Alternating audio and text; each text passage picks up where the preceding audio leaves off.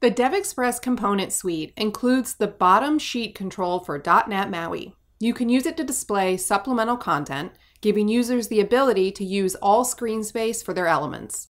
Bottom Sheet helps you to use screen space more efficiently and create a mobile-friendly user interface. Here are some examples of how you can use the bottom sheet control. You can display the detail view of a master detail relationship. Display extra buttons within your application UI.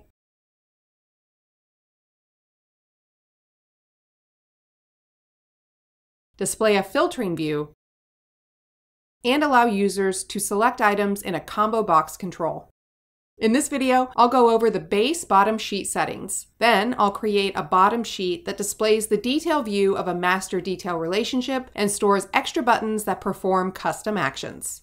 Let's start by adding the devexpress.maui.control NuGet package to the default .NET MAUI project.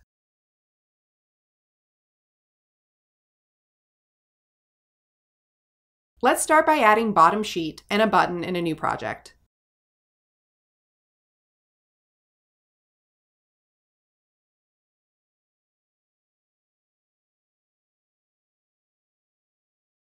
Handle the button's clicked event and set the bottom sheet's state property to half expanded.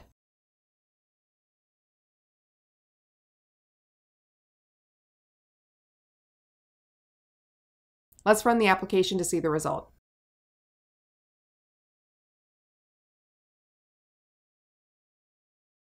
You can also use the isModal property to specify whether bottom sheet blocks interactions with underlying controls.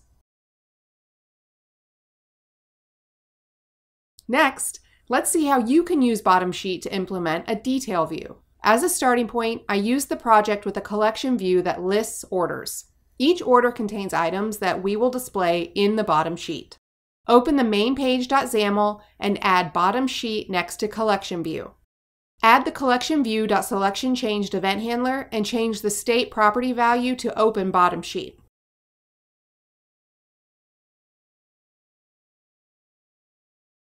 Let's run the application to see the result.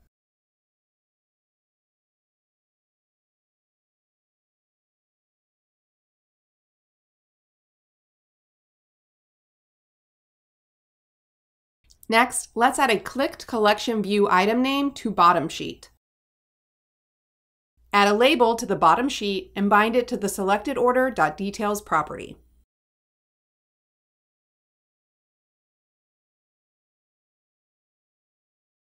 Now we'll populate bottom sheet with a collection of items in a specified order. Add a collection view control to the bottom sheet control. Set the collection view's items source property to the selected order.details object. At the master data level, we bind the collection view.selected item property to the view model's selected order property. Now let's minimize bottom sheet when the collection view is scrolled to give a user more space when he or she interacts with the master collection. To do this, add a selection changed event handler. In the code behind, set the bottom sheet's state property to half expanded. And run the application to see the result.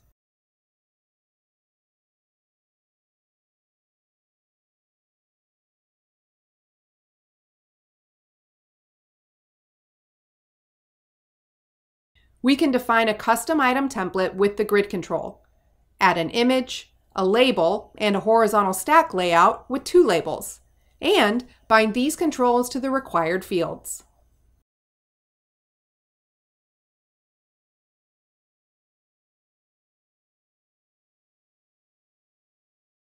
Let's run the application to see the result.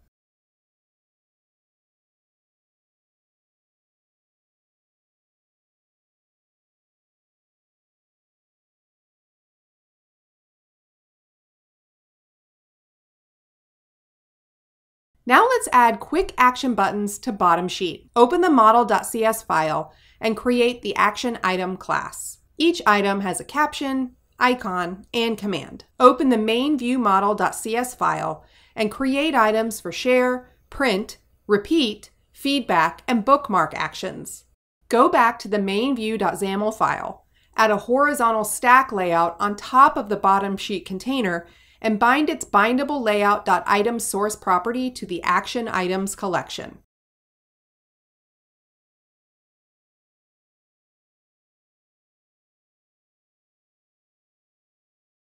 We can now define the background color of the bottom sheet control and specify other customization properties, including templates.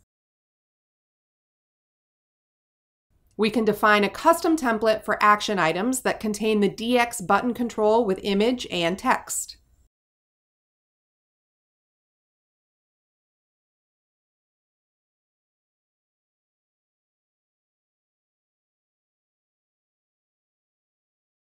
And that's it for this video. If you liked it, give us a thumbs up. If you have any comments or questions, please leave them below. And don't forget to subscribe and ring the bell so you get notified whenever we release new content. Thanks for watching, and thank you for choosing DevExpress.